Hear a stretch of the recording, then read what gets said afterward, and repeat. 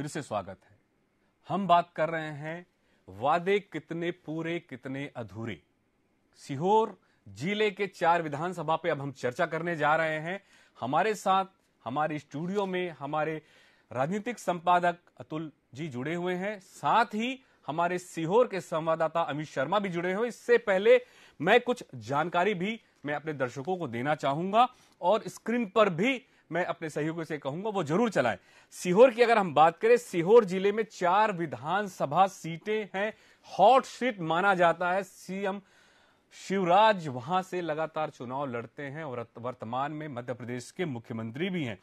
और सीहोर विधानसभा सीट में बुधनी से शिवराज जी चुनाव लड़ते हैं।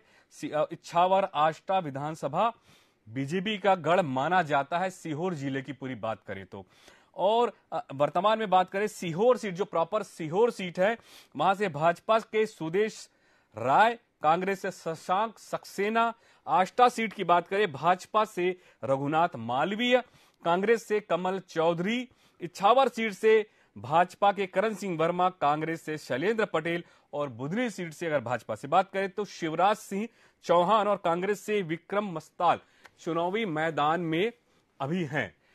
हम सीहोर के विषय में थोड़ा सा समझना चाहेंगे, चूँकि हॉट सीट और बीजेपी का गढ़ माना जाता है। अतुल जी, कैसा ये आखिर क्यों, चूँकि अगर बात करें मुख्यमंत्री तो स्वाभाविक रूप से वो गढ़ हो ही जाता है, चूँकि कांग्रेस का बहुत ज़्यादा वहाँ पर वर्चस्व नहीं दिखता।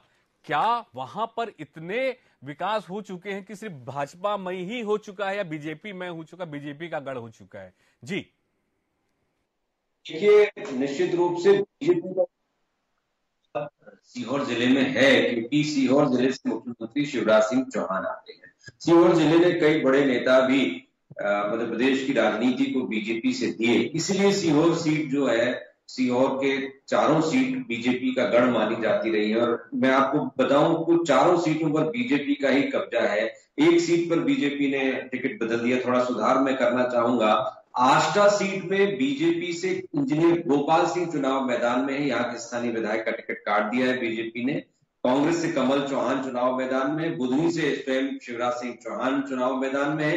विक्रम मस्ताल, एक अभिनेता को जो हनुमान की भूमिका में नज़र आए थे, एक टीवी सीरियल में, उनको कांग्रेस ने टिकट दिया है। करण सिंह वर्मा पुराने नेता हैं बीजेपी के लगातार जीतते आए हैं, उनको फिर से मौका दिया शैलेंद्र पटेल कांग्रेस प्रत्याशी हैं। सुदेश राय फिर से बीजेपी के प्रत्याशी हैं, विधायक हैं, शशांक सक्सेना नए और युवा चेहरे को यहाँ पर मौका दिया है। बुधनी सबसे हॉट सीट मानी जाती है, लगातार चार बार से शिवराज सिंह चौहान वहाँ पर विधायक है। उन्नीस सौ नब्बे में पहली बार शिवराज सिंह चौहान वहाँ से विधायक बने, उसके बाद सांसद बनते गए और फिर लौटे तो लगातार विधायक बनते